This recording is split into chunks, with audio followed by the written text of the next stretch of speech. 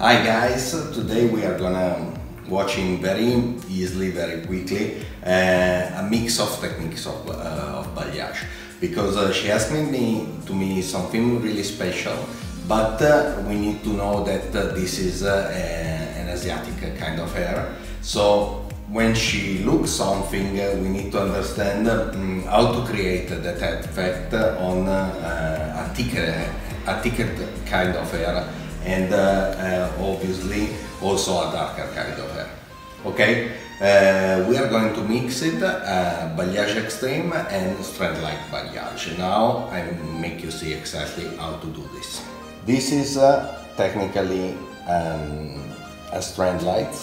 What we do is to remove too much hair and also we are going to create a kind of couple of centimeter to avoid the baby lights effect. Because she don't want that kind of effect.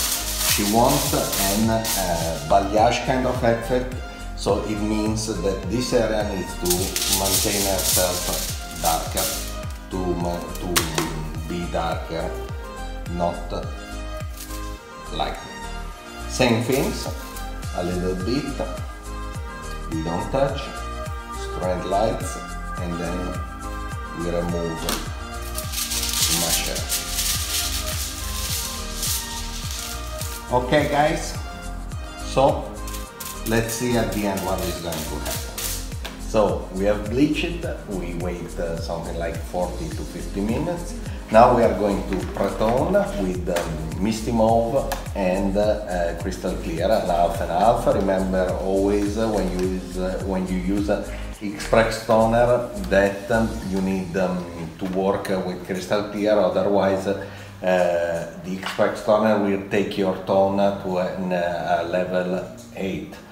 And after we are going um, have a, a deeper tonalization of two different colors because she wants different shades that move inside. And we are going to use a darker mm, one with a 7 BB means uh, uh, a beige around uh, a dark blonde mid blonde beige and then uh, a lighter one with 9 BB that means uh, a high level of beige Obviously we are not using this alone, we are mixing it with, uh, with some ash because uh, we need to correct the, the yellow and the orange that moves inside the hair. Okay? So we wait, and we see, and uh, now we start to prepare this color. So this is our last step of the job. Obviously in the front line we are going to use a lighter color and then we are doing uh, we are going to do a kind of um, sandwich technique. It means we, we use uh, one dark, one, uh, one uh, light and one dark, one dark, one light and one dark. Obviously it will be more natural beige than the light beige, but it's okay. At the end, you're gonna see what is going to happen on this hair.